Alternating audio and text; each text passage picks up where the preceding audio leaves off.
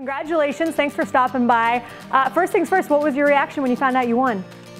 Oh wow, uh, I was shaking, definitely. It's just such an honor, especially knowing who went before me. I know Riley Sorensen got it last year and it's just an extreme honor to be recognized and yeah, it's great. Two Cougs in a row. Uh, so tell yeah. me a little bit, let's talk about your story because it, it really is remarkable. You moved from Sweden to Pullman in the fall of 2013 and within a month of being on campus, you're diagnosed with a rare heart condition and doctors are telling you that your swimming career is over and that there's no exercise. A lot of people in my mind would have packed up and gone back home at that point. What made you stay? Well, I mean, first of all, I just didn't really believe it. It's such a hard thing to take in and actually, I don't know, realize what's going on. And all I knew at that point in my life was swimming and all I wanted to do in my life was swimming. That's why I moved here in the first place. Uh, I was willing to do anything just to make that happen and be able to be with my team again. So what has this process been like for you over the last few years?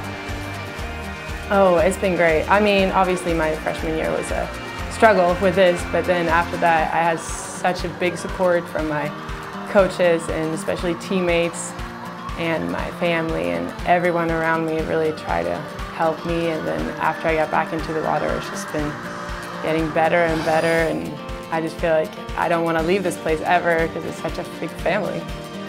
Well, at some point you are going to have to leave Pullman, Washington, unfortunately. Next fall you graduate with a degree in mechanical engineering. What will be next for you?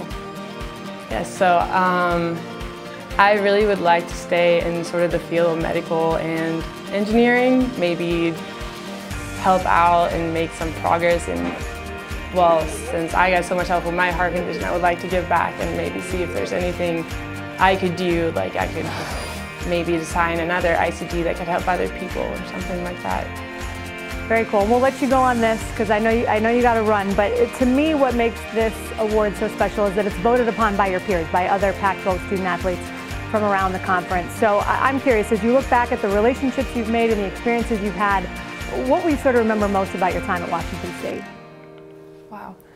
Um, there's so much. It, obviously, coming from a different country, it's a completely different culture, and I never thought I could be so close with a, a team and a coaching staff and everyone in athletics just helping you and really wanting the best for you. Like once you're being told you're going to die if you work out, and now I succeeded, I've got a graduate degree and a four-year swimming career. It's pretty amazing to have those people around me. I could not have done it without anyone. It is absolutely amazing, as are you. Um, congratulations on a fantastic Washington State career so far, and we look forward to seeing what's next for you. Anna, thank you. Thank you so much.